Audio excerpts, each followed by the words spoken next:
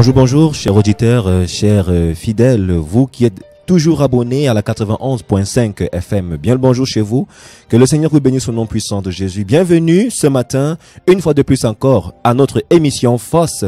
FOSS, nous le savons, nous permet d'avoir la lumière des éclaircissements sur la vie ministérielle, sur la vie avec le Seigneur et sur toute autre difficulté spirituelle que nous pouvons rencontrer dans notre, dans notre quotidien. Sur ce plateau, je ne suis pas seul, mais avant d'introduire, euh, permettez-moi de me présenter. Je suis l'aspirant pasteur Emmanuel Samuel Ouakamba, fils de mon père et de ma mère, le couple prophétique canet. Et à ma droite, nous avons le révérend Samuel à qui je dis bonjour. Bonjour frère, bonjour mon aspirant. Il faut dire que nous présentons cette émission. Euh, nous sommes comme ça en formation. Bonjour à, au panel qui est là. Bonjour à tous ceux qui nous écoutent. Euh, que Dieu vous bénisse. Voilà, je vais continuer les présentations. Nous avons à mon extrême droite euh, l'apôtre Pierre Choubeux, à qui j'adresse également bonjour. Bonjour, bonjour, bonjour à tout le plateau, bonjour prophète, bonjour à toute l'équipe voilà qui entoure euh, ce, cette belle émission. Et pour terminer, nous avons euh, en face de nous le révérend prophète Ferdinand Canet, visionnaire et superviseur général des assemblées, Réma, ministre Michel. Bonjour, homme de Dieu. Bonjour à vous et bonjour à l'apôtre Pierre Choubeux. Alors, mais avant de prendre la plage musicale pour revenir dans le vif du sujet, pour poser la question vérité en face, nous allons vous communiquer le numéro de téléphone du standard pour toute question. Euh, si vous avez une question, si vous avez euh, euh, un avis à partager sur l'émission Fosse, vous pouvez interagir en direct avec nous au 680 79 66 03. Je répète, 680 79 66 03. Vous avez une question, vous avez euh, un avis, vous avez une suggestion. Voici le numéro 680 79 66 03. Que le Seigneur vous bénisse. Restez connectés, vous qui nous écoutez. Nous prenons une courte plage musicale et nous revenons pour euh, la seconde partie de cette émission. Suivez désormais sur Dolos FM votre émission Force.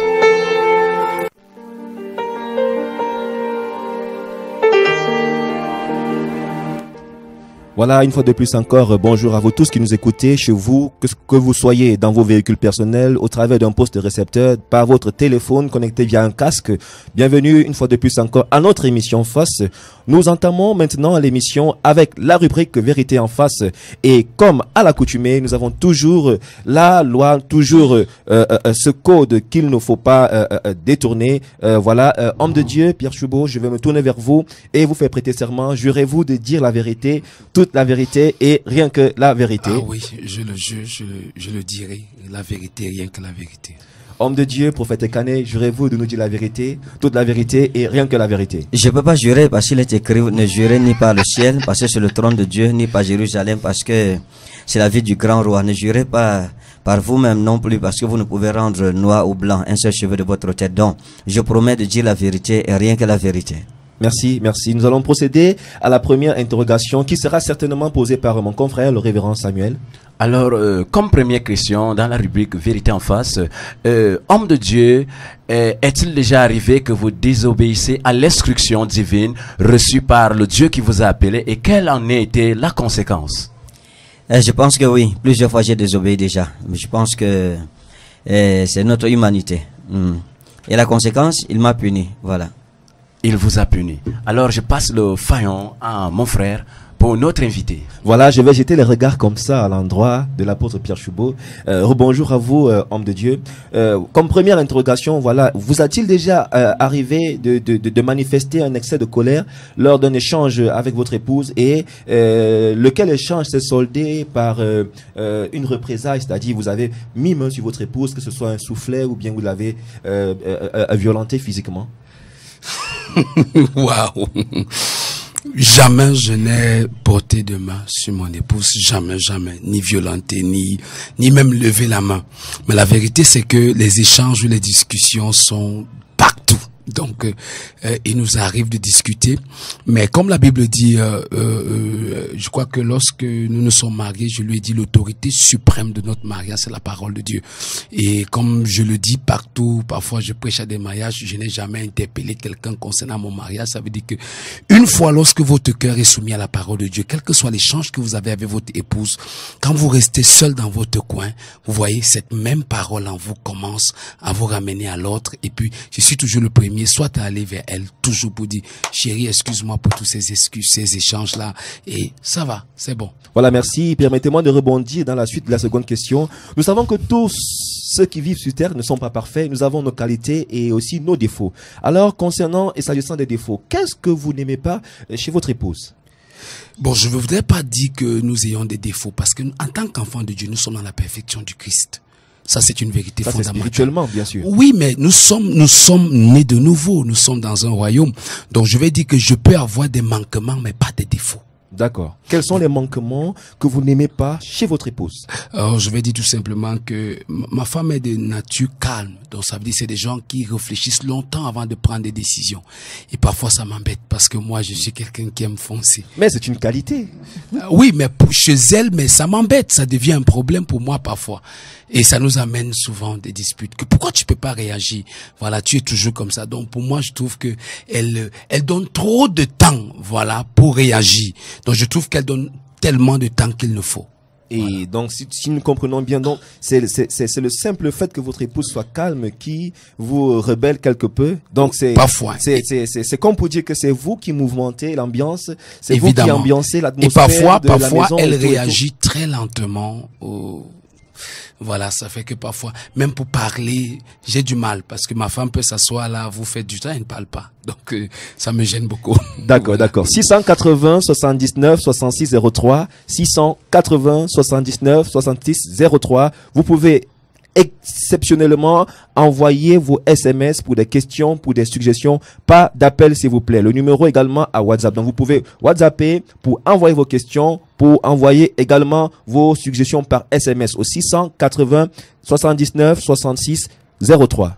Alors, homme de Dieu, révérend prophète Ekane, vous connaissant comme un homme mélancolique et colérique, vous êtes, est-ce qu'il vous est déjà arrivé de gronder votre femme en public, que ce soit en privé?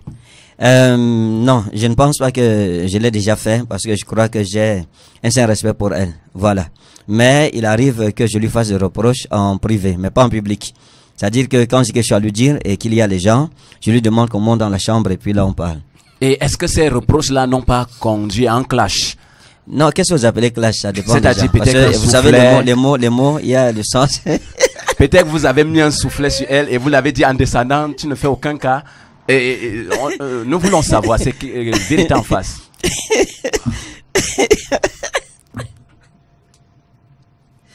Excusez-moi. non. Il n'y a aucun soufflet. Personne n'a soufflé. Personne n'a soufflé, personne. non, non.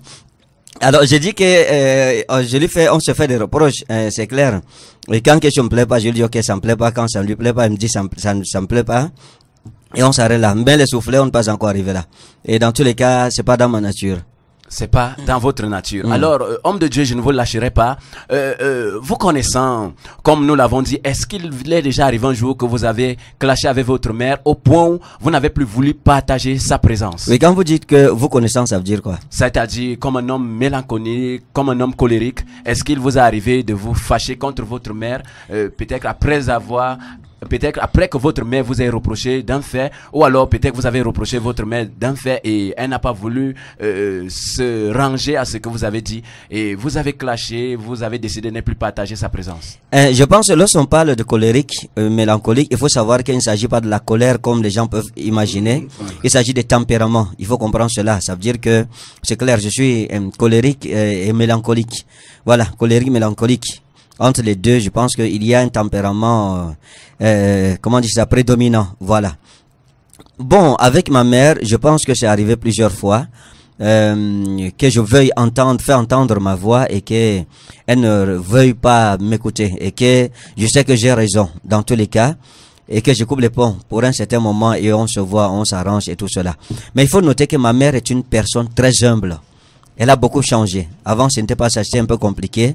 Elle voulait, avant, c'était la loi de la mère qui régnait, mais aujourd'hui, avec l'âge, elle a compris, elle est née en 1950, donc euh, aujourd'hui, ma mère est d'une humilité euh, qui est terrible. Ça veut dire que même lorsqu'elle a raison, elle demande pardon. Amen. Je vous dis la vérité. Ça, c'est l'une des personnes qui me marque le plus dans ma vie. Yes. Il n'y a personne qui prie pour moi comme ma mère. Il n'y a personne qui me donne des conseils comme ma mère et mon épouse. Il faut le dire comme ça. Voilà les deux personnes les plus importantes dans mon existence aujourd'hui. Donc, ma mère, je vous assure, c'est une femme extraordinaire. C'est un don de Dieu. C'est une femme merveilleuse. Alors, comme vous l'avez dit, votre mère est une femme merveilleuse.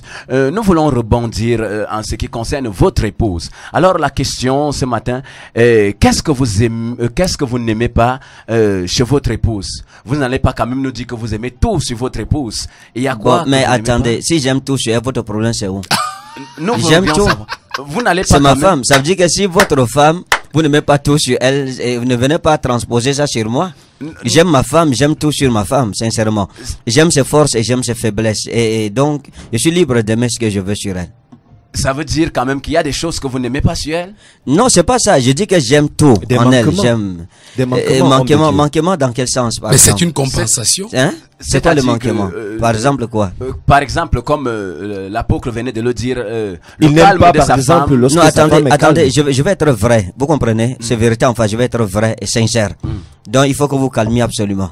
Donc, vous voyez, ma femme, c'est, j'ai jamais rencontré une personne aussi merveilleuse que ma femme.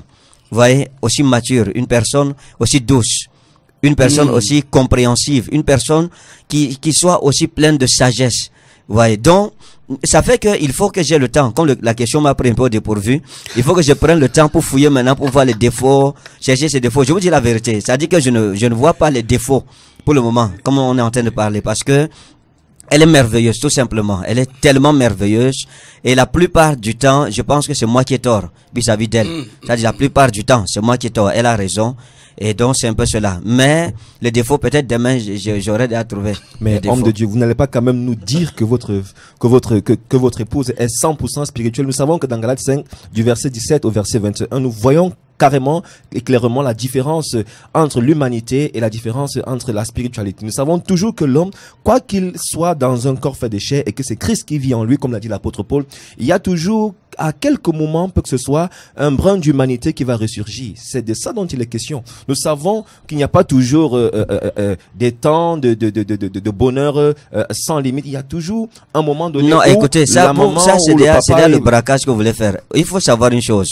Je suis en train d'expliquer que il y a une différence entre est-ce que vous avez des, malentendus et puis est-ce que il y a des défauts? C'est deux choses différentes. Il faut comprendre cela. C'est deux choses différentes.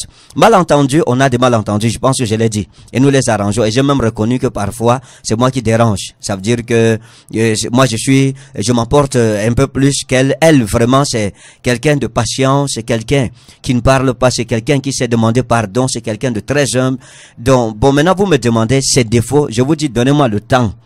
Donnez-moi, s'il vous plaît, 24 heures. Je demande un moratoire de 24 heures. Demain, certainement, je- j'aurai trouvé un défaut. Mais pour le moment, euh, ça m'a un peu pris au dépourvu, donc je ne trouve pas. Ok, merci. Je vais maintenant m'adresser à l'apôtre Pierre Choubeux. Voilà, nous avons reçu un premier SMS tout qui va dans le contexte de vérité en face et je vais vous l'adresser. La première question, bonjour homme de Dieu, comment faire lorsque nous avons affaire à un homme mystérieux, celui-là qui ne dit jamais oui ou non quand vous lui faites part d'une situation, il n'écoute et ne dit rien. Je, le- je vous pose la question parce que tout à l'heure vous avez dit que votre épouse a un caractère calme et met du temps à réfléchir. Est-ce que euh, c'est pas par, par hasard la même situation euh, de la jeune femme qui euh, est peut-être en train de se plaindre du fait que son mari est calme, mais qui prend, il est en train de prendre le temps de lui répondre par rapport à une situation et elle est exacerbée par là? J'achète la question. En fait, je pense que nous devons mettre les questions dans l'émission, pas dans vérité en face, parce que ça, pour faire la part des choses. Ok, merci. Je Il pense que Il oui. faut dire comme ça que euh, la rubrique euh, Vérité en face euh, vient de s'achever comme ça. Mhm. Nous entrons dans les missions proprement dit. Gloire à Jésus. Mm. Donc voilà, nous allons poser dans la première question sans plus tarder et je vais l'adresser euh, à l'encontre euh, du révérend prophète Ferdinand Ekane. Je viens juste de parler. Je pense qu'il faut commencer par mon confrère. Nous sommes quand même les modérateurs et c'est nous qui D'accord, posons la a pas de question. problème. Nous sommes libres de poser la question à qui que nous voulons sur ce plateau. Oui, c'est clair. Nous C'est juste que c'est dans un souci de justice et d'équité. Voilà. Non, c'est nous qui c'est nous qui adressons la question. Merci, merci pour le fair play, homme de Dieu. Donc voilà, euh, la première question, euh, révérend prophète. Bon, comme vous avez tellement insisté, je vais la poser à l'endroit de l'apôtre Pierre Choubin. Voilà, euh, est-ce qu'un père spirituel a le droit de porter atteinte à l'intégrité physique et spirituelle de son semblable, que ce soit un homme de Dieu comme lui, ou alors que ce soit un fils euh, spirituel? Parce que nous avons eu Intégrité euh, physique. intégrité physique et même spirituelle parce que nous avons eu affaire à ce genre de cas où euh, et le plus souvent ils justifient leur position euh, par rapport à l'ancienneté parce que c'est l'huile qui aurait coulé en premier sur leur tête et voilà un jeune homme de Dieu un jeune prophète qui vient de naître subitement et puis euh, ça crée des tensions soit à cause du fait que le jeune prophète, euh, ils connaissent la gloire et l'élévation brusque par rapport. Et puis voilà maintenant. Et puis on se retrouve avec ce père spirituel qui vient pour porter atteinte, soit à l'intégrité euh, spirituelle et parfois et parfois même à l'intégrité physique. Non. Moi, je dis non d'entrée parce que une véritable onction ne combat pas une onction, une autre onction. C'est pas possible. Et nous avons un exemple palpable dans la Bible, l'histoire de David et Saül. Donc, lorsque vous êtes un vrai oint de Dieu et que vous aviez en face de vous quelqu'un qui est loin de Dieu et qui soi-même peut-être inférieur à vous et qui même dans son immaturité commet certaines erreurs, vous ne pouvez pas chercher à porter atteinte. Vous saurez qu'avec le temps, il finira par, par comprendre. Parce que je vais vous dire une chose. Prenez, euh, prenez autant pour moi de l'argent. Vous donnez à un enfant de 10 ans, vous donnez le même argent à un enfant de 20 ans, un enfant de, de, de, de 40 ans, une personne de 40 ans autant pour moi, ça ne sera pas la même chose. Donc moi je crois qu'une, comme je l'ai dit au départ, une vraie onction ne peut pas combattre une autre. Non. Et l'ancienneté n'est pas synonyme, voilà, de l'efficacité ou de, comment je vais dire ça, ou de la jauge spirituelle. On peut pas arriver à ce niveau. Non. Parce que, en réalité, c'est un peu comme on peut dire que tous, Dieu nous a créé le même jour, mais il nous a fait arriver différemment sur la terre, selon les temps et les saisons. Et en fonction de chacun, il a donné un potentiel particulier. Rappelez-vous, au même, le même jour, il distribue à l'un 5, à l'autre 2, à l'autre 1. Imaginez. Vous voyez. Donc le même jour. Mais les résultats ne sont pas les mêmes. Donc je vais dire tout simplement, une vraie onction n'attaque pas une autre onction. C'est pas possible. Merci. Et que pensez-vous maintenant du deuxième volet de la question des pères spirituels qui portent atteinte à l'intégrité physique, à l'intégrité physique autant pour moi, c'est-à-dire qui tapent sur leur fils spirituel et à cause de ce que ils sont les pères spirituels. Oh, cette question-là, vraiment, comme je vous l'ai dit tout à l'heure, euh, battre n'est pas logique. Ça, c'est pas logique. Un père spirituel ne peut pas battre. Euh, je crois qu'il peut discipliner. Il peut à la limite punir. Et tout à l'heure, j'ai dit hier que ça va selon le niveau des rapports.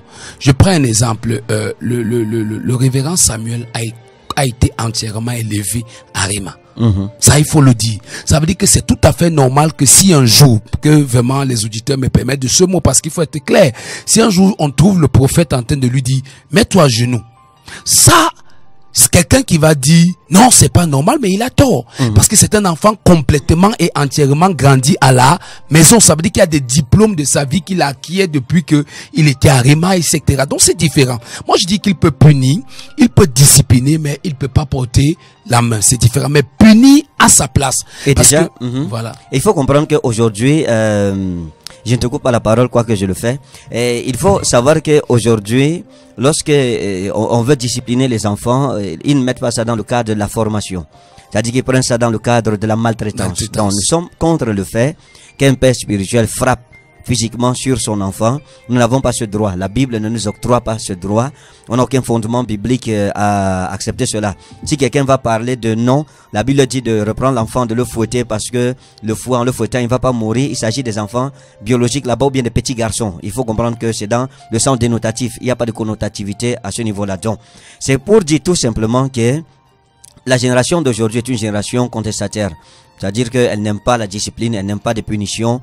Essaie de punir ton fils, il va dire, oh, on me fait souffrir, là, on me maltraite. Essaie de le discipliner. Oh, ils ne mettent pas ça dans le cadre de la formation, ce qu'il nous a fait. Pasteur Pierre Chaubert et moi, nous avons grandi à la vraie église de Dieu Nestor Toukéadon. Là-bas, c'est la discipline, c'est la rigueur, on ne joue pas. C'est ça qu'aujourd'hui, et puis moi, avant d'arriver à la vraie église, je sors de l'islam. Donc automatiquement, je suis passé par deux milieux extrêmement disciplinés, et ça fait automatiquement qu'aujourd'hui, les gens ne me comprennent pas, et beaucoup d'enfants ratent euh, l'héritage. Voilà. Alors, euh, homme de Dieu, je rebondis vers vous, révérend prophète et, et Canet. Euh, euh, concernant la guerre des pères, euh, est-ce que les femmes des hommes de Dieu euh, ne sont-elles pas une occasion de querelle entre les pères spirituels dans la mesure où un tel père peut laisser sa femme prêcher et un autre critique ce père-là d'avoir laissé le pupitre à sa femme? Qu'est-ce que vous en pensez de ça? Oui, bien entendu. Moi, je pense que c'est malheureux pour l'Église aujourd'hui. Et je crois que c'est parce que les choses ne sont pas bien régulées dans l'Église. Et, et parce que nous n'avons pas une liturgie générale. Automatiquement, dans tous les cas, chacun se lève, prend la Bible à son niveau et l'interprète à son niveau, comme le philosophe Montaigne le disait. À partir du moment où les hommes se sont avisés de faire parler Dieu, chacun l'a fait parler à sa façon. Euh, je pense que ça dépend de la compréhension que chacun a de la Bible. Malheureusement, nous avons plusieurs compréhensions de la Bible. Nous ne sommes pas encore parvenus à l'unité de la foi et c'est une, euh, c'est un combat, c'est un grand défi. Et je ne sais pas si un jour nous parviendrons à cela. Mais dans tous les cas, si ma conviction chrétienne permet que mon épouse prêche, et que la tienne ne permet pas. Je pense que soyons frères et laissons ces petites différences. Je me souviens, je suis allé évangéliser, c'était en Gaoundéré. J'étais avec des jeunes hommes de Dieu là-bas, on s'entendait très bien. On a organisé des campagnes d'évangélisation et c'était merveilleux. Et on a fait ça peut-être une fois, deux fois. La troisième fois, le frère principal avec qui je travaillais m'a posé une question. Il m'a dit, OK, vraiment, euh, mes parents spirituels, les, pères de la ville sont en train de poser des questions et ils ne veulent plus que je sois associé à toi. J'ai dit pourquoi? Parce que il me répond parce que les femmes chez vous ne se voilent pas et puis elles portent des pantalons, elles ont des bijoux, elles ont des rouges à lèvres. Donc, s'il te plaît, est-ce que tu peux dire à ta femme de mettre le foulard et d'enlever ses bijoux ou d'enlever les mèches sur sa tête. Je lui ai dit que mon ami, tu t'entends même parler. Est-ce que tu t'écoutes parler? Ma femme et toi tu me dis comment ma femme doit s'habiller Euh, Où est la bienséance dedans? Où est la déontologie chrétienne dedans? Où est le respect du foyer, de l'autre? Où est le respect de mon intégrité? Et tu veux que ma femme que j'ai épousée s'habille pour te plaire? Pourtant l'écriture dit que son habillement c'est pour plaire à son mari et le mari se bat pour plaire à son épouse. Je lui dis il faut dire à tes pères de le dire à leurs épouses mais pas à ma femme. Moi ma femme j'aime la voir comme ça. Et je me souviens à l'époque, mon épouse m'a dit, ah chérie, peut-être faut que je jette même un petit la faille sur ma tête. Je lui dit jamais. Maintenant, alors comme tu n'as pas le rouge, va me mettre le rouge à lèvres. Elle n'avait pas les boucles. J'ai dit, s'il te plaît, mets-moi les boucles d'oreilles. Et elle avait, elle n'avait pas une chaîne, elle avait des, des, des- bracelets. Je lui ai dit, mets ta chaîne immédiatement. Et, et j'ai dit que pardon, enroule-moi bien, sors bien tes mèches là. Je veux que ce soit bien mis en exergue. Elle a fait ça et nous sommes allés au programme. Avec cet homme de Dieu, on a eu les problèmes depuis cette année jusqu'à aujourd'hui. Ça fait peut-être 4 ans. On ne s'est plus jamais parlé. C'est récemment que c'est moi qui l'ai appelé.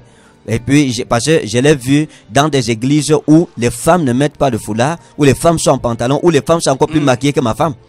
Donc, je l'ai appelé, je lui ai dit que, ah, je te vois maintenant dans des milieux où c'est même encore plus grave que ma part. Tu me condamnes. Qu'est-ce qui s'est passé? Il m'a dit, on a vieilli. Avec le temps, on a compris beaucoup de choses. Amen. Et on est fatigué des combats. Donc, je pense que c'est ce que les gens doivent savoir. Ta conviction n'est pas ma conviction. L'apôtre Paul nous a expliqué cela. Il a arrangé le problème. Que celui qui mange la viande ne juge pas celui qui ne mange pas la viande. Et que celui qui ne mange que les légumes ne condamne pas celui qui mange la viande. Car celui qui mange le légume ou bien celui qui mange la viande le font pour le Seigneur. Merci, merci. Je vais poser la question maintenant à l'apôtre Pierre Choubeux. Voilà, Euh, nous avons assisté, du moins c'est à un événement qui a été quelque peu pertinent et qui a prêté à confusion pour les plus faibles dans la foi.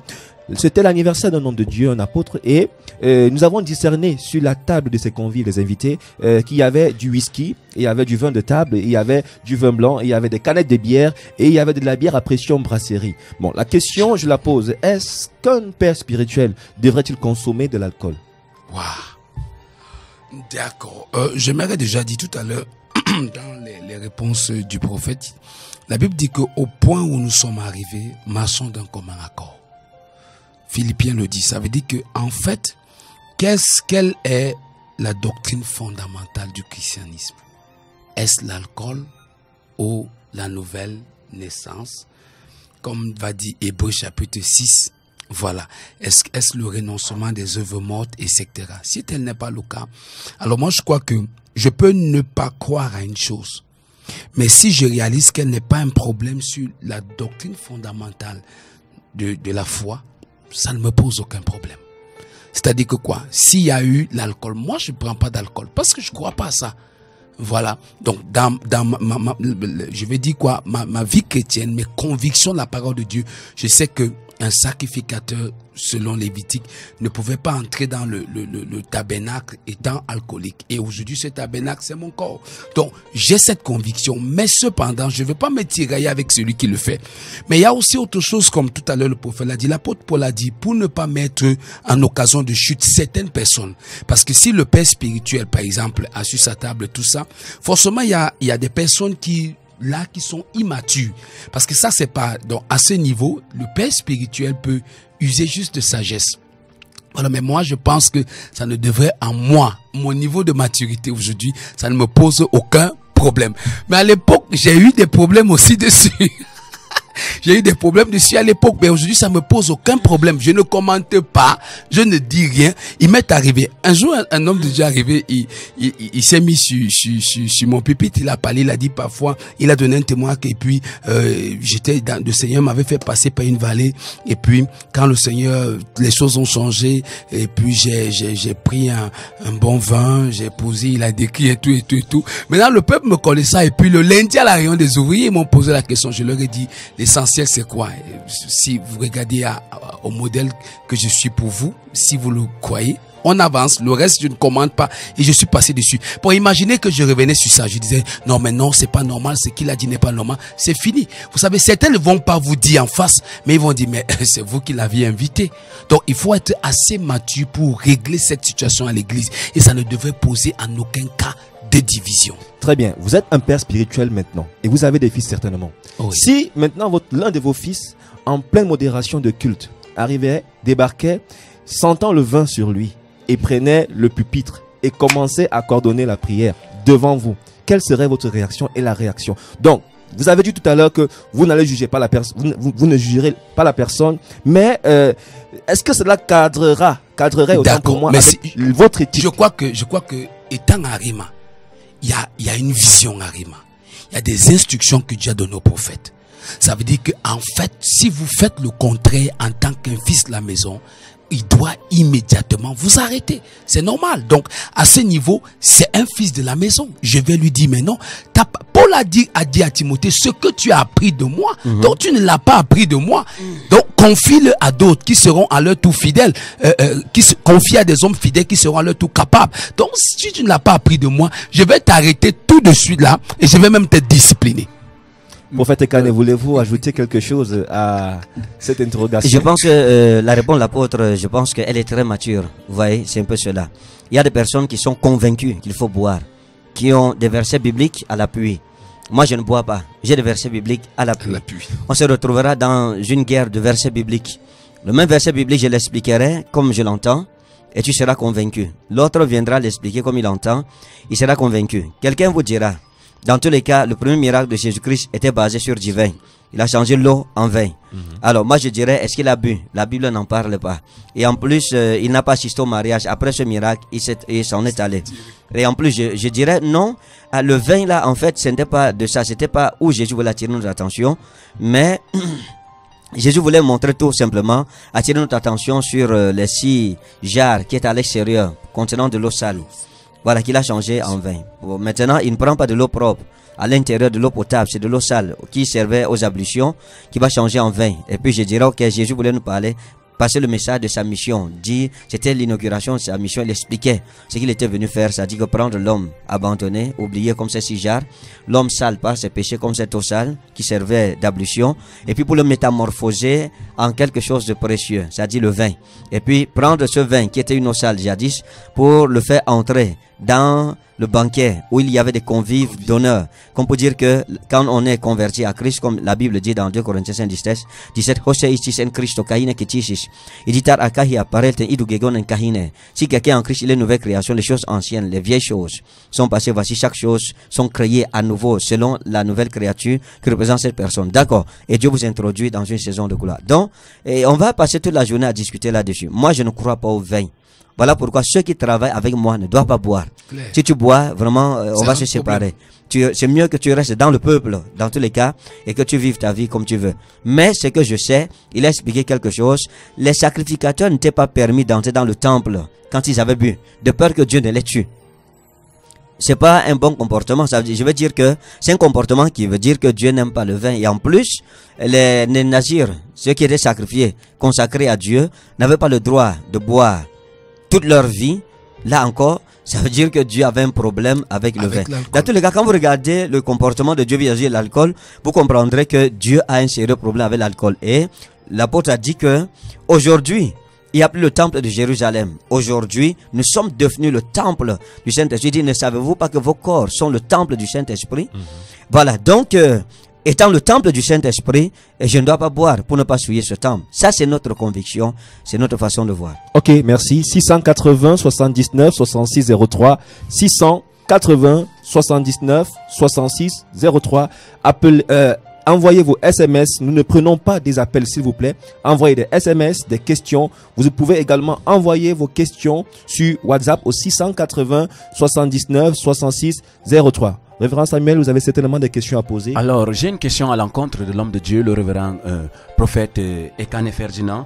Euh, Est-ce que des fils euh, qui critiquent, qui critiquent souvent leur père, ne sont-ils pas aussi une occasion de querelle dans l'optique où parfois quand ils critiquent leur père, ils s'en vont voir d'autres pères spirituels pour aller parler de leur père, euh, de leur frustration, de leur mécontentement vis-à-vis euh, de leurs parents? Est-ce qu'ils ne sont pas aussi un objet ou alors euh, c'est-à-dire l'optique par laquelle le diable passe pour s'aimer la querelle, la zizanie entre les pères spirituels? Moi, je pense déjà que moi, je n'accepte pas un fils qui condamne son père chez moi. Ça ne se fait pas dans tous les cas. C'est l'éthique pastorale, c'est la loi et les prophètes. Donc, et je pense aussi que ceux qui admettent dans leurs églises, dans leur ministère, des enfants qui jadis euh, furent rebelles à leurs parents, qui viennent dénigrer leurs parents, et ils les acceptent et ils leur donnent parfois même des postes de responsabilité dans le ministère, je pense que c'est de l'avarisme spirituel et c'est un manque de maturité. Parce que j'ai l'habitude de dire qu'un enfant qui méprise son père, c'est pas son oncle qui va respecter. Clair. Donc, ce qu'il a fait à son père, il finira toujours par vous le faire. Donc, je crois que euh, lorsque vous avez un enfant qui vient d'ailleurs et vous dites que j'étais avec tel prophète, avec tel homme de Dieu, et il agissait comme ça, il faisait comme ça. La première chose, quand, voilà comment moi je, je résous le problème. D'accord, j'ai compris. Premièrement, si tu parles comme ça de ton père, ça, tu n'auras pas peur de parler de moi demain. Parce que je suis pas ton père, je suis ton oncle. Alors maintenant, et je fais quoi? Je vais, si j'ai le contact de son père, je vais lui demander déjà de retourner vers son père, demander pardon à son père, s'arranger avec son père et me rapporter une lettre de recommandation de la part de son père. Et je vais appeler son père au téléphone pour dire que j'ai un de tes fils qui s'appelle comme ça, que j'ai reçu. Voilà, Euh, je l'ai renvoyé chez toi et donc il ne peut pas être chez moi sans ta bénédiction. C'est des lois du ministère que lorsque vous les violez, tôt ou tard, c'est pour ça que beaucoup d'hommes de Dieu ne réussissent pas dans le ministère. Je vous dis la vérité. Je suis un homme méticuleux en ce qui concerne les lois du ministère. C'est les choses que j'ai comprises. Et dit par exemple, vous connaissez la loi de l'épée. C'est une loi redoutable. Celui qui tue par l'épée mourra par l'épée. Ça veut dire quoi? C'est que tu fais à l'autre, te sera fait. C'est automatique. C'est une loi spirituelle. Tu accueilles des enfants qui insultent leur père chez toi. C'est pas seulement des enfants, c'est-à-dire des fils euh, dans le cadre ministériel. Même les brebis. Même les brebis. Tu prends chez toi des brebis qui viennent avec le nom de leur père. Ça montre qu'elles n'ont aucun respect de leur père. Et qu'elles n'ont, c'est pas toi qui vont respecter. Toi qui es étrangère ou étranger eh, dans leur vie. Donc, eh, quelqu'un qui est sage, quand quelqu'un vient déjà avec le nom de son père, avec le nom de son église, oh, l'église là c'est une mauvaise église, vraiment, j'étais là, ma vie n'a pas changé, vous êtes là-bas, les choses ne fonctionnent pas, toujours la prophétie, et les prophéties là, mais ça ne s'accomplit pas. Mais la personne ne vous dit pas ceux qui rendent témoignage des prophéties qui se sont accomplies. Ou elle ne vous parle pas de ceux qui témoignent que leur vie ont changé. Elle ne comprend pas que c'est elle qui est responsable de la stagnation. Oui, voilà. Bah, Elles ne disent pas combien le pasteur les a aidés à payer le loyer ou à envoyer les enfants à l'école, etc. Et si vous accueillez de telles personnes, je vous dis la vérité, c'est une bombe à retardement que vous avez dans votre ministère. Malheureusement, beaucoup d'hommes de Dieu commettent cette erreur grotesque et mettent en danger leur ministère. C'est pour ça que vous bâtissez à un certain niveau, pam, ça, explose, pam, les gens se dispersent. Vous reprenez à zéro. Pourquoi? Parce que vous avez accueilli quelqu'un qui ne fallait pas accueillir dans votre ministère et puis voilà. Alors, euh, homme de Dieu, j'ai une autre question. Euh, ce matin, euh, la question est, un jour vous avez dit que un de vos confrères vous a rendu visite chez vous et en vous rendant visite, vous avez remarqué qu'il lorgnait votre épouse et vous avez décidé que jamais plus ce confrère n'entrera chez vous. N'est-ce pas là une occasion de querelle entre vous en tant que père spirituel et lui aussi en tant que père spirituel? Non, mais si tu lognes ma femme, on est dans les problèmes. Ça dit que tu as déclenché la troisième guerre mondiale. Clair. Ça, tu ne peux pas faire ça. Moi, j'ai dit une chose. hein. Si j'appelle le, le prophète, le- le- le- l'apôtre euh, Pierre Chaubin, et il me dit, je ne suis pas à la maison, j'étais en train d'aller chez lui, je suis pas à la maison, c'est mon épouse qui est là, je fais demi-tour. Je ne rends pas visite aux gens quand ils sont pas chez eux. Je vais parler aux frères quand leurs femmes sont à la maison. Si tu as un ami qui ne vient que chez toi que quand tu n'es pas là, il faut t'en méfier, c'est dangereux. Donc frère, vraiment moi je suis quelqu'un de calme. Demandez à bon Michalon, mon épouse, elle vous dira. Je suis quelqu'un, je ne cherche pas les problèmes. Mais si tu touches ma femme, là vraiment c'est mauvais. Euh, L'homme le plus calme va euh, déclarer la guerre. Donc c'est c'est la réalité. Moi je ne l'ai plus jamais amené chez moi jusqu'à aujourd'hui. Ça fait au moins 4 ans, 5 ans. Je ne peux pas accepter ça. Ça veut Ok. dire que vous êtes en guerre alors avec lui Non, mais c'est pas non, une ce guerre, n'est c'est pas un que c'est la principe. guerre. C'est appelez ça comme vous voulez. Donc, mais oui, c'est la Mais puisque guerre. là, ça engendre une guerre. Non, c'est la guerre. Oui, j'accepte. C'est la guerre. Parce que si tu veux ma femme, c'est la guerre, c'est une déclaration de guerre. Tu veux ma mort? Tu veux me tuer, je t'ai fait quoi? Tu t'attaques à ma femme, c'est que c'est fini. Demande-moi l'argent, je te donne tout. Prends-moi la maison, prends les habits, prends tout ce que je possède, mais n'attaque pas ma femme. Mais homme de Dieu, est-ce- Non, mais c'est une guerre défensive. mais homme de Dieu, merci. Non, non, je dois m'expliquer. C'est une guerre complètement défensive. Ça veut dire que je défends mon territoire. Je défends mon ajoute. n'est-ce pas là de la jalousie, homme de Dieu, que vous manifestez à l'endroit de Même Dieu est jaloux. Son nom, un des noms de Dieu, c'est jaloux. Salaud. Parce que justement, rien ne dit que euh, votre confrère est, est- est allé vers euh, votre épouse, Mohamed Shalom, Non. et lui a fait la cour Je- pour je- après. Non, attendez, écoutez. Je, je vais un peu pousser. Toi, hein. c'est parce qu'on n'a pas encore lancé le regard là sur ta femme, peut-être Voilà, que je, tu- je, je vais un peu pousser, comme ça. je vais un peu entrer. Il y a un regard dangereux. Je suis un prophète en plus. Je connais analyser les regards. Il y a des regards où tu sens que ta femme ne fait pas un pas sans toi. Elle va aux toilettes, tu es avec elle. À la chambre, avec elle. Cuisine, tu es avec elle. Uri a perdu sa femme par le regard de David. Un regard. C'est un regard, ça a commencé par un regard. Moi, je crois que, et puis il y a une vérité Et c'était un prophète en plus. C'est-à-dire que ses yeux étaient ouverts.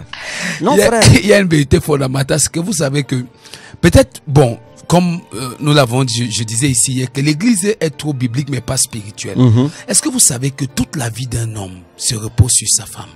Demandez aux hommes qui Vraiment. comprennent la spiritualité. C'est que tu veux me Ça, tuer? ça veut dire que quand quelqu'un, d'ailleurs, on ne va pas loin ici, on est en studio, quand quelqu'un vous veut, c'est d'abord par votre femme qu'il passe. Pourquoi vous voulez que je ne ferme pas toutes les murailles possibles autour de ma femme? Mais attention, le prophète l'a dit, moi je vais vous dire moi je je parle pas souvent de ce côté, ma femme elle connaît. Souvent quand on lui dit que tout ce que tu as entendu là, ça meurt dehors. Comme Mhm. on entre ici, sache que c'est ça et c'est ça. Parce que je vais vous dire, toute votre vie, on, on me veut. Ce n'est pas moi, c'est ma femme C'est ma femme. vous allez passer par ma femme. Donc, ma femme, je l'encadre plus que tout. D'ailleurs, pour, pour, pour me permettre de sortir, moi, je l'ai dit une fois, la semaine passée, je pêchais au mariage de ma petite soeur, j'ai dit, je n'ai rien sur la terre comme ma femme. Donc, tu la touches, vraiment. Peut-être, tu sais fini? pas, tu sais pas ce que tu vas réveiller d'autres. Non, c'est, c'est, il y a des choses qu'il ne faut pas faire. Alors, euh, euh, dans euh, euh, la guerre, continuons toujours dans la guerre euh, des pères On vous sert la nourriture, c'est même pas suffisant. Vous regardez encore la femme. C'est même pas que, vous n'avez même pas peur de ma présence. D'accord, Hein? nous, nous vous avons saisi. Et vous me dites non, vraiment, et c'est c'est pas la jalousie, et il faut laisser tomber. Oh, il y a les dossiers qu'on ne laisse pas tomber. D'accord, Alors, homme de Dieu. dans le cadre des délivrances Il fabriquées, faut, non, attendez, calmez-vous. Il faut savoir que ce sont les petites faiblesses qui ont renversé des héros. Et c'est des petites fissurations qui ont noyé le Titanic. Les petits non, ça va, je comprends, non, je tolère. C'est ça qui a détruit certains foyers. Non, je prends des mesures préventives, strictes, et drastiques. Interdiction désormais d'arriver. Ça dit, on oublie même la diplomatie pastorale. Merci, merci, homme de Dieu. Parlant justement des foyers. Parce que ça, c'est un incident diplomatico-prophétique. Non, mais il y a même des gens qu'il faut chasser de ta maison avec les mains. Ben là, je suis allé un peu plus loin, Mhm. comme le prophète. Non, je vous dis, parce que vous jouez avec cette histoire. Ça dit, vous, vous ne savez pas ce que c'est que la femme. Il y, y a des femmes qui ont fabriqué des gens. Fallait voir le regard déjà en soi. Voilà. Il est vrai que nous n'étions pas là. C'est tellement le regard était vraiment Non, un mais regard vous savez, c'est un sujet que même Donc, les euh, auditeurs Pas aiment entendre. Voilà, euh, justement, s'agissant des épouses, nous avons euh, un frère qui est allé sur le plateau euh, de l'émission Casarema, qui euh, qui fait euh, beaucoup de, de, de, de vues sur YouTube, et il s'est plaint justement de ce que le pasteur, euh, le père spirituel de sa femme, le- euh, euh, aurait conseillé sa femme après avoir écouté cette, cette, euh, euh, euh, sa fille après plusieurs reprises que désormais elle est en même temps la femme et en même temps la et, en même temps l'homme, autant pour moi, dans la maison. Donc, le frère, il est venu, il était scandalisé et il s'est plaint. Comment est-ce que le père spirituel de mon épouse peut lui dire que désormais, c'est elle la femme et l'homme à la maison? Moi donc, je sers à quoi? On comprend que euh, les pères spirituels, en plus du fait que peut-être ils défendent leurs épouses, entre guillemets, mais eux aussi, euh, ils s'amusent à, à, à, s'ingérer de manière abusive dans les foyers de leurs filles. Comment est-ce qu'un père spirituel peut arranger sa maison et il pas gâter la maison de l'autre?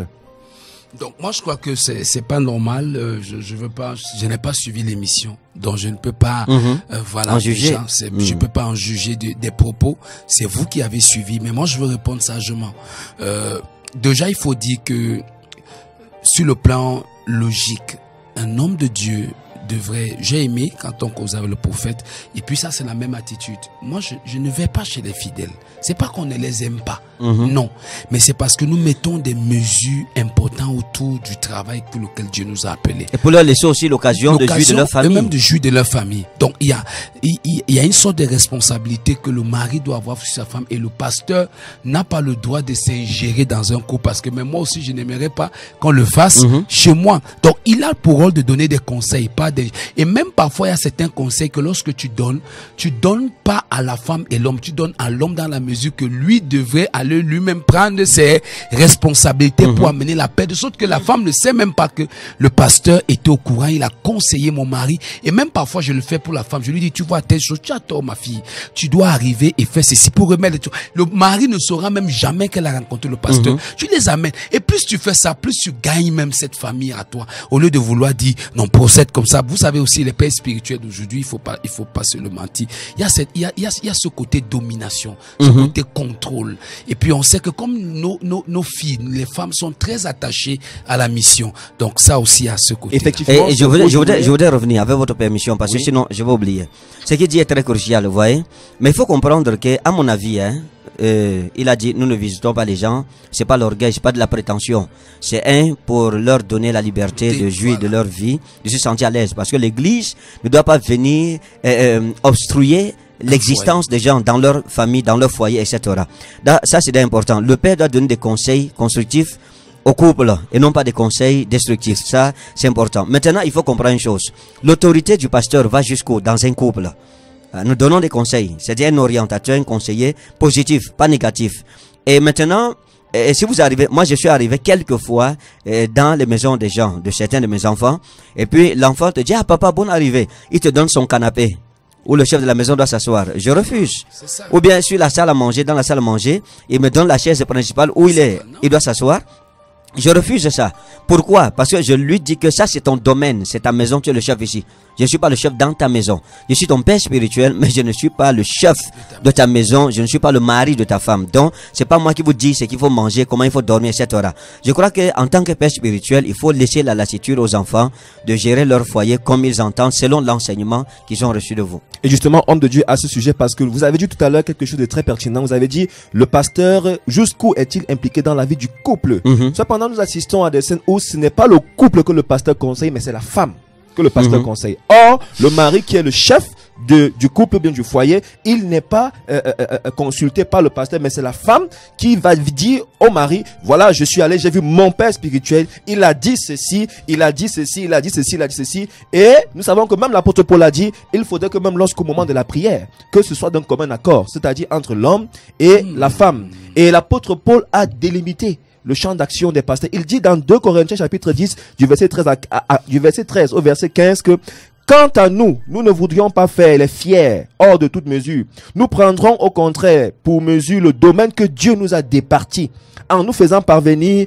jusqu'à vous. Verset 14. Nous ne dépassons pas nos limites comme si nous n'étions pas parvenus jusqu'à vous. Car c'est bien jusqu'à vous que nous sommes arrivés avec la bonne nouvelle de Christ. Le verset 15, le plus pertinent. Nous ne mettons pas hors de toute mesure notre fierté dans les travaux d'autrui, mais nous avons l'espérance, si votre foi augmente, de devenir encore plus grand parmi vous dans notre propre domaine. Donc l'apôtre Paul ici, il est en train de situer l'Église. Il a fait comprendre que eux, ou alors du moins c'est les ministres de Christ, leur principale mission, c'est d'aller vers le peuple pour dispenser l'évangile de la foi et les voir grandir dans la foi. Mais là, euh, il paraît que la fierté l'a emporté sur la vocation. Donc, euh, pour, pour, pour dire en, un mot, moi je crois que, en un mot, j'aimerais dire ceci. Je dis, moi je crois que, euh, c'est ce manque d'équilibre là et à cause du fait que les femmes sont plus attachées voilà à, à la mission que euh, beaucoup beaucoup de serviteurs de Dieu sont tombés dans ce piège là d'être plus proches de la femme que du mari. Et c'est souvent dangereux. Et la femme vous savez elle a un côté émotif. Ça fait donc que c'est facile pour elle de porter certains problèmes dans le but d'avoir le soutien du pasteur dans son foyer. Et là encore, c'est dangereux. Donc moi, je crois que pour conclure dans ce sens, un homme de Dieu doit être assez sage. Parce que si vous perdez l'homme, vous allez perdre la femme. Mhm. Donc vous devez tout faire pour que quand même la femme vous, vous apporte une situation, la sagesse, parce que la femme est déjà d'office comme ça. Alors au lieu de vouloir enseigner jusqu'à passer une éternité dessus, c'est d'appeler son mari sagement, lui donner des conseils, comment est-ce qu'il peut organiser son foyer de manière constructive, mettre de l'ordre, etc. Et vous gagnerez davantage. Ça, c'est ce que je peux dire dans ce sens. Mhm. Al- Alors, euh, homme de Dieu, avant de passer dans la rubrique euh, Prophète, j'ai une j'ai une question. Euh, J'aimerais savoir, est-ce que les délivrances fabriquées, comprenez-moi bien, lorsque je parle de délivrances fabriquées, euh, les dites délivrances dans des assemblées, euh, c'est-à-dire, euh, vous avez une brebis euh, qui quitte votre assemblée parce que peut-être elle s'attendait à ce que vous la receviez, vous soyez d'un, euh, d'une amitié avec elle et ne trouvant pas satisfaction, quitte votre église, peut-être après qu'elle ait reçu une excommunication vis-à-vis de son comportement, s'en va dans une autre église, arrive là-bas et simule une délivrance et dans la délivrance, elle se met à, elle se- la brebis se mette à prononcer le nom de son ancien pasteur disant, oh c'est moi le, le- l'apôtre Pierre Choubeux, je te possède parce que, donc est-ce que ces délivrances-là ne font pas des objets de querelle entre les hommes de Dieu? Certains hommes de Dieu se disent, ah voilà, voilà l'homme que vous suivez partout dans les médias, le voilà qui a possédé la sœur. Est-ce que euh, cela ne fait pas euh, des guerres aujourd'hui, homme de Dieu? Moi, je pense que c'est de la distraction, tout simplement. Et je ne peux pas catégoriser un tel euh, personnage dans la catégorie des hommes de Dieu. C'est-à-dire quelqu'un qui base son ministère sur la déclaration des démons. Sincèrement, ça ne mérite même pas d'être discuté sur notre plateau. Merci, merci. Nous allons maintenant procéder à Prophète. J'ai une question. Voilà, nous allons prendre les premières euh, questions euh, via SMS sur, sur WhatsApp. Bonjour, homme de Dieu. Ma préoccupation est la suivante. Est-ce que des enfants de Dieu nés de nouveau, qui ont consulté Dieu et le Seigneur a confirmé la relation, ces derniers décident de se marier en secret avant la dot, pour une raison ou une autre, mais vont officialiser, officialiser autant pour moi, le tout après? Est-ce mal? Pour moi, je pense que la dot devrait venir en premier parce que la dot, c'est le symbole de la bénédiction des deux familles. Ça veut dire que la famille de l'homme, la famille de la femme. La dot, c'est quoi? C'est en fait, c'est que les deux familles disent, OK, nous sommes au courant que nos enfants sont ensemble et nous leur donnons notre bénédiction. C'est important. Il fallait d'abord euh, mettre en priorité la dot. Le reste pouvait venir après. Alors, Donc, je prends la à mon avis, c'est mal. Ok, d'accord. Alors, je prends la deuxième question pour la- l'apôtre Pierre Choubeux. Bonjour, homme de Dieu. Comment faire lorsque nous avons affaire à un homme mystérieux, celui-là qui ne dit jamais oui ou non Quand vous lui faites part d'une situation, il écoute et il ne dit rien. D'accord, il y a une chose qui est simple. Vous savez, dans un foyer, euh, pour atteindre le cœur du, de, de l'homme, vous passez par son corps. Et pour atteindre le corps de la femme, vous passez par son cœur. Donc j'aimerais dire que si c'est la femme qui pose la question, qu'elle passe par le corps de l'homme, elle va atteindre son cœur. Et si c'est l'homme qui pose la question, qui passe par le cœur de la femme, il va atteindre son corps. Et je voudrais aussi ajouter qu'il y a un autre principe qui est le principe de la communication. Ça veut dire que si euh, votre conjoint, vous parlez, il ne répond jamais, vous dites ceci, il ne dit pas, il ne répond pas, automatiquement vous aussi observez la loi du silence. Je pense qu'à un certain niveau, la loi du silence le guérira euh, de son silence et l'amènera à parler. Très Il faut équilibrer les choses. Merci homme de Dieu. Voici la dernière question. Bonjour homme de Dieu. Elle vous, a- elle vous est adressée, prophète Ekané. Bonjour homme de Dieu. Dans la Bible, Jésus-Christ a dit que nous aurons affaire à de vrais et à de faux prophètes. Comment faire pour, euh, pour les reconnaître? Euh, Jésus-Christ, il faut savoir déjà, il a dit que mes brebis entendent ma voix et elles me suivent. Donc ça veut dire quoi? Ça veut simplement dire que quand on est une vraie brebis de Christ, on reconnaît la voix de Christ. C'est comme ça qu'on sait d'abord qu'on est une vraie brebis. Donc la question de savoir si un homme de Dieu est vrai ou s'il est faux ne devrait pas se poser euh, premièrement, elle devrait se poser, euh, poser secondement. La première question c'est est-ce que je suis une bonne brebis, est-ce que je suis une vraie brebis? Les vraies brebis ne demandent pas si un homme de Dieu est vrai ou faux. Parce que la voix de Christ, elles, entendent la voix de Christ à travers un homme de Dieu, ou alors elles entendent la voix du loup à travers un homme de Dieu. Donc pour discerner euh, si un homme de Dieu est vrai ou faux, il faut d'abord être vrai soi-même et porter Christ. Alors, prophète Ekane, euh, nous avons une autre question à votre rencontre. Euh, vu ce qui se passe tous ces derniers temps, euh, la mort des hommes de Dieu. Que pensez-vous Euh, Quel est votre euh, votre rapport à cette situation? Tous ces derniers temps, nous entendons tel est mort à gauche, tel est mort, euh, tel homme de Dieu vient de ce parti. Euh, que que dites-vous de cela? Justement, parce que ça fait déjà, en l'intervalle de deux mois, on compte déjà plus d'une centaine de, de- d'hommes de Dieu décédés qui ont passé de gloire, qui sont passés Un de mois gloire. et demi. hein. Un mois et demi, voilà, ça Mhm. ne fait même pas deux mois. Donc voilà, il y a déjà une centaine d'hommes de Dieu qui, qui ont trépassé. Et, et avant-hier encore, nous avons euh, euh, euh, l'un des, l'un des hommes de Dieu, le président de l'église apostolique. Mhm. Et hier, c'était maintenant le tour du, du- du président d'une des, d'une des fédérations d'une église de réveil du nom de Bishop Dipita. Mhm. Oui, donc voilà, c'est, c'est un événement quelque peu troublant dans le corps du Christ et ça ne laisse personne indifférent. Voilà, je pense que premièrement, il faut que ça nous pousse à réfléchir parce que la question que chacun en tant qu'homme de Dieu se pose, c'est à qui le tour. Mais cependant, il y a aussi des corrélations qu'il ne faudrait pas négliger dans ce fait. Toutes ces morts-là sont venues après, c'est-à-dire qu'elles sont venues juste après la déclaration de l'arrivée du Covid-19. Ça, il ne faut pas négliger cette information. Et puis, euh, c'est arrivé pendant la période de confinement. Là aussi, il ne faut pas s'amuser avec cela. Dans tous les cas, le Covid-19, c'est venu avec le règne du Covid-19. Comme pour dire que quelque part, il faudrait faire attention. Parce que quand je réfléchis à la question, la majorité de ces hommes de Dieu qui sont passés étaient étroitement liés à la foule, étaient étroitement liés à leur peuple. Donc je pense que ça doit nous interpeller. Avant de parler de jugement de Dieu, avant de dire que c'est une épuration de l'Église au Cameroun, il ne faut pas négliger le fait que c'est arrivé lors de la période du Covid-19. À partir de là, je pense que ça doit nous amener à plus de prudence et à plus de considération. Je crois que euh, c'est une euh, le conseil que je veux donner aux communautés, c'est de préserver, c'est de protéger le pasteur. Il faut protéger vos brebis. C'est un peu euh, la, la, loi de la protection à la lampe de Dieu. Vous voyez, David va en guerre et puis, à moins c'est, on va le tuer et puis un de ses généraux vient à son secours et le préserve, etc. Moi, je pense qu'il faut faire attention.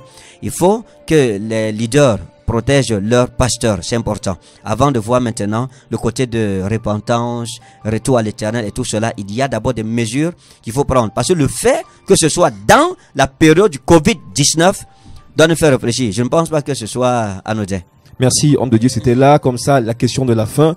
Nous allons maintenant nous allons nous, nous, nous allons vous quitter et nous disons merci euh, à tous ceux-là qui nous ont écoutés, à vous, chers auditeurs, restez fidèles à la 91.5 FM. Sur ce plateau, je suis l'aspirant pasteur Emmanuel Samuel Akamba et mon confrère à mes côtés, le révérend Samuel. Nous avons été en compagnie de l'apôtre Pierre Choube. Nous vous disons merci, homme de Dieu. Merci. Nous remercions également le prophète Ferdinand Kane qui Merci. nous a honoré de sa présence. Mm. C'était l'émission FOSS, l'émission qui vous donne accès à la connaissance le ministère et sur les difficultés relatives à la croissance spirituelle. Nous vous donnons rendez-vous demain à 10h à la même heure. Restez connectés, soyez bénis. Bonne journée. Shalom. Ne manquez pas la rediffusion de votre émission Fosse sur Doulos FM de lundi à vendredi à 16h et 21h.